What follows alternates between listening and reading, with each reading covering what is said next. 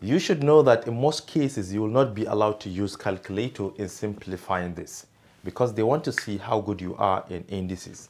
So we are going to apply some of the laws of indices to simplify this. We have the square root of 2 to the power of 31 plus 2 to the power of 34 divided by 2 to the power of 27 plus 2 to the power of 30. You can see all the bases are the same, 2, 2. All right, let us start by factorization. Um, I think the best way to factorize this is to bring the number with the least exponent. We have 31 and 34. 31 is smaller than 34. So we are going to bring 2 to the power of 31 outside. Then inside already it is gone. You take this, you divide by this. This will give us 1 plus. If you take this, you divide by this, you know, you're just going to apply one of the laws of indices. You take a base, then you subtract the exponent 34 minus 31, which is equal to 30, right? This is 30. You divide by, you come down here. I think 2 to the power of 27 is smaller here, so we have 2 to the power of 27.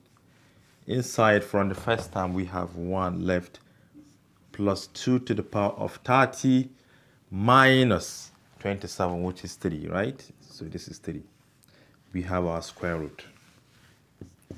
All right, you can see these numbers are exactly the same, so you can just strike them out.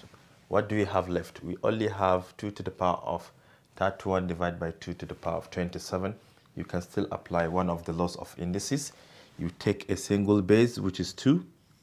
Then you subtract the exponents 31 minus, uh, 27, which is equal to 4. Remember to bring the square root. And you know that square root can also be written in an exponential form, that number to the power of 1 divided by 2. So we are going to multiply 4 by 1 over 2.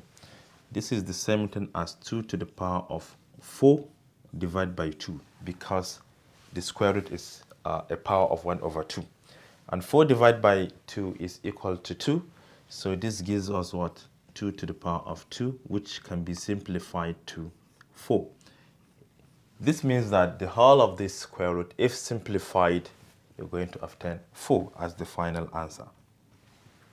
Thank you for watching. Do share to your learning colleagues and don't forget to subscribe to my YouTube channel for more exciting videos.